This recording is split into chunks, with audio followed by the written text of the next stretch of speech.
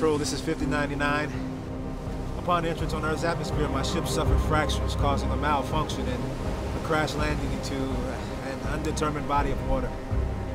I, by some miracle, survived and have enough supplement to sustain me for a week. All other supplies were lost with the ship. If any... Louis, get in the game. Yeah. Yeah. We're looking for out-of-the-box stories, but within the box of mainstream audiences. I'm sure you've got a script up your sleeve that's more mainstream.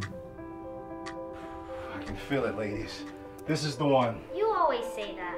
If you can just give me this weekend. Michaela needs you this weekend. This is your career, Louis. Don't get sidetracked. This one is different. This might be my last chance. It doesn't have to be this way. Then do something about it. You hear that, Control? I'm gonna make it. I will not stand down. Your career is over. What does it matter? If I don't have a family to share it with, I'm almost finished. Good. Do you know what it's called?